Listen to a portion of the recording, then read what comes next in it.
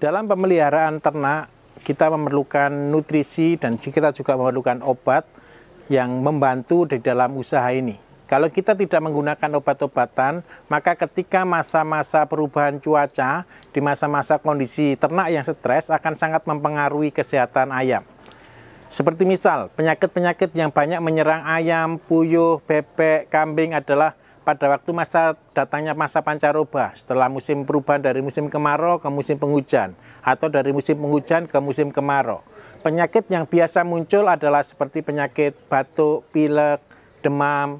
Kemudian kalau untuk ayam ada flu burung, ada penyakit-penyakit stres dan lain sebagainya. Bagaimana dengan cara tradisional kita bisa mengobatinya, bagaimana kita menghalangi supaya tidak terjadi satu penyakit. Ini yang harus kita persiapkan. Kita melakukan satu tindakan yang preventif, pencegahan, supaya penyakit itu tidak menyerang ternak kita. Ada beberapa bahan-bahan tertentu yang secara umum ini sangat bagus di dalam pemeliharaan ternak. Di antaranya kita bisa menggunakan kunyit. Kunyit adalah satu tanaman rempah yang memiliki khasiat dia sebagai antibiotik. Kunyit ini adalah antibiotik alami tertinggi. Ketika kita menggunakan kunyit, kemudian kita fermentasi, maka ternak kita akan jauh dari penyakit, terutama penyakit-penyakit yang disebabkan karena virus. Jadi kunyit ini untuk mengobati penyakit yang disebabkan karena virus, seperti flu burung dan lain sebagainya. Kemudian kita juga memerlukan jahe. Jahe ini adalah satu tanaman yang bersifat panas yang akan kita pergunakan untuk apa? Pada waktu ternak kita mengalami kondisi demam, ketika daya tahan tubuhnya turun, dia akan disertai dengan rasa sakit. Untuk mengatasi rasa sakit itu kita memerlukan satu hal yang menghangatkan tubuh. Jahe ini bersifat menghangatkan dan dia sangat membantu di dalam peredaran darah. Ketika peredaran darahnya dia lancar, maka penyakitnya akan berangsur-angsur akan membaik.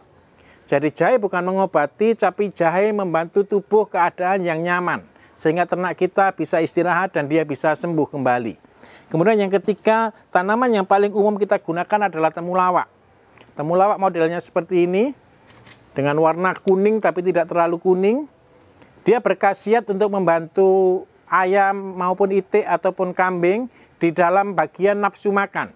Dia sangat bagus untuk meningkatkan nafsu makan. Ada beberapa tanaman selain temulawak, ada temuireng dan lain sebagainya, tapi temulawak berspektrum lebih luas. Selain dia meningkatkan nafsu makan, dia juga memperbaiki kerja hati. Ketika ternak kita mengkonsumsi temulawak, maka hatinya akan baik. Hatinya akan betul-betul sempurna dan tidak ada lemak yang ada di dalamnya.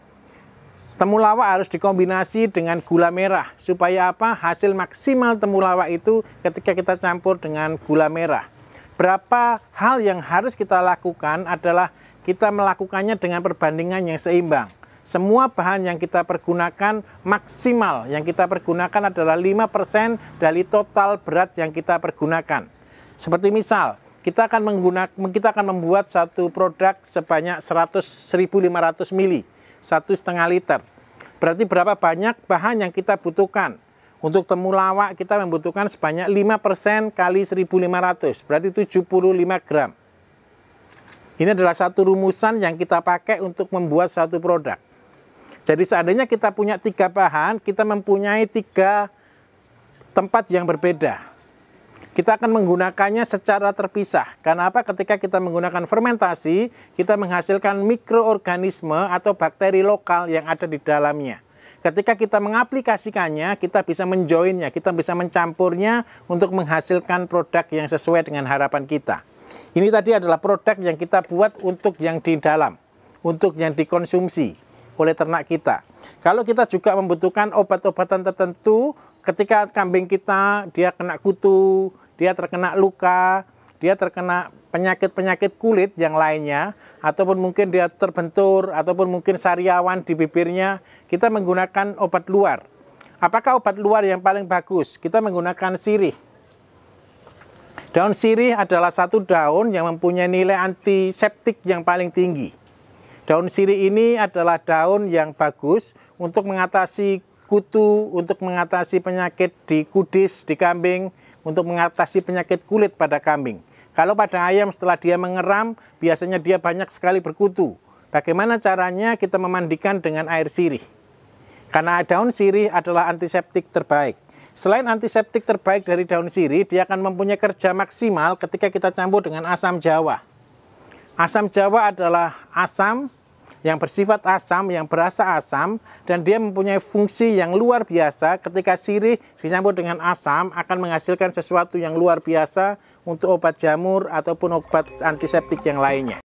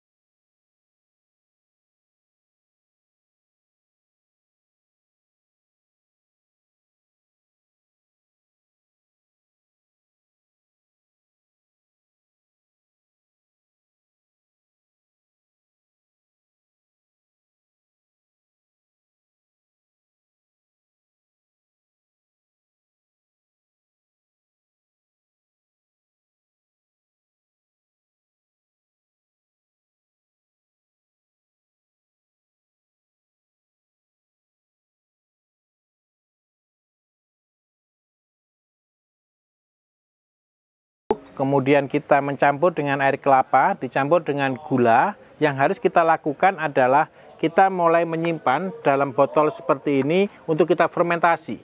Berapa lama waktu fermentasi? Untuk membuat mol, mikroorganisme lokal yang kita butuhkan adalah waktu 14 hari. Kenapa kita harus membuat terpisah untuk membuat mol seperti ini? Karena kita mengembangkan mikroorganismenya bukan kandungan dari satu bahan dicampur, tapi hanya mikroorganisme lokalnya yang kita perbuat. Untuk apa hal itu terjadi? Karena kita akan mendapatkan hasil maksimal dari satu produk. Ketika dia setelah umur 14 hari, maka seluruh enzim akan keluar, seluruh metabolisme yang ada di dalam dia akan berkembang dan bermultifikasi sehingga ini akan sangat efektif. Setelah 12 hari kita bisa mencampurnya untuk membuat satu tujuan tertentu. Seperti misal, kita mempunyai ayam yang hari ini dia sakit, dia mulai ngantuk, dia mulai pilek, dia keluar ingus. Apa yang harus dilakukan? Berarti kita membuat kunyit untuk antibiotiknya dan kita membuat temulawak untuk nafsu makannya, kita tambah jahe sedikit supaya badannya jadi hangat. Komposisi terbesar adalah di temulawak dan di kunyitnya untuk mengatasi antibiotiknya. Tetapi pada waktu udara dingin, pada waktu siang panas dan malam dingin, yang harus kita kasih adalah jahe yang lebih banyak daripada yang lainnya. Ketika ayam kita tidak mau makan, dia nafsu makannya mulai berkurang, kita menambahkan temulawak dalam jumlah yang cukup banyak. Komposisi ini mempengaruhi kandungan. Karena apa? Karena kita akan mendapatkan hasil yang maksimal ketika kita mengetahui kondisinya. Kenapa selalu saya katakan kita tidak perlu memelihara banyak, tapi kita betul-betul mengerti bahasa dari ternak kita adalah di sini. Ketika kita tahu kondisi ternak kita, kita akan betul-betul memahami apa yang harus kita lakukan. Banyak peternak tidak menyadari hal ini dan dia menganggap semua biasa karena dia tidak mau tahu keadaan ternaknya. Dan inilah fungsi kita membuat obat di dalam untuk peternakan kita. Bagaimana caranya untuk membuat obat luar?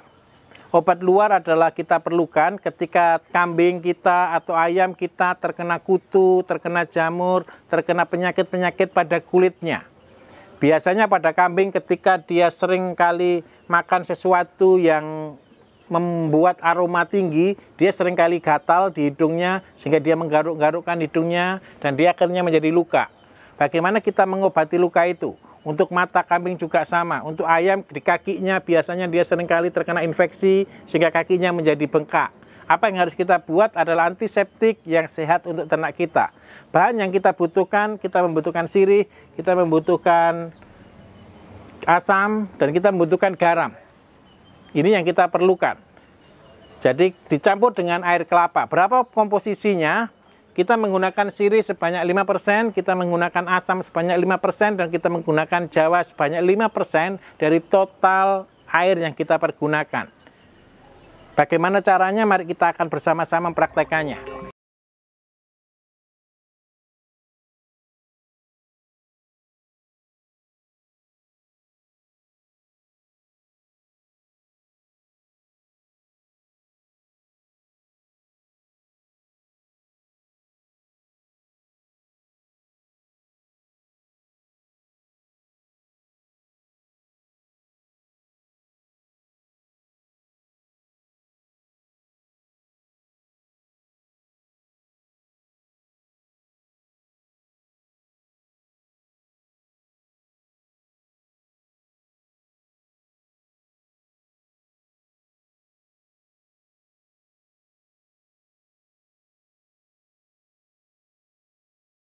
Mall dan kita membuat obat luar, kita berarti punya tanggung jawab baru. Apa yang harus kita lakukan setiap hari? Karena ini berasal bahan baku dari air kelapa ditambah dengan gula ditambah dengan mikroorganisme, maka yang terjadi adalah terjadi reaksi kimia di dalamnya. Tugas kita adalah minimal dalam waktu satu hari 3 sampai 4 kali harus dikocok seperti ini dan dibuka setiap 3-4 hari untuk mengeluarkan gas yang ada. Jadi setiap satu hari minimal 4 kali ini harus dilakukan ini akan menjadi masa ketika kapan? Ketika semua gas sudah selesai, ketika proses mikroorganisme sudah selesai. Dan itu sudah menunjukkan bahwa proses kimia telah selesai. Itu bisa disimpan dalam waktu yang sangat lama. Penggunaan untuk obat luar ini dengan cara minimal kita taruh di pada luka atau pada penyakit minimal satu hari dua kali, pagi atau sore. Dan ini sangat membantu sekali ketika pada kudis pada kambing yang harus kita lakukan, kita bersihkan kambingnya, kemudian kita kasih dengan kita gosok dengan cairan ini. Ini yang kita lakukan.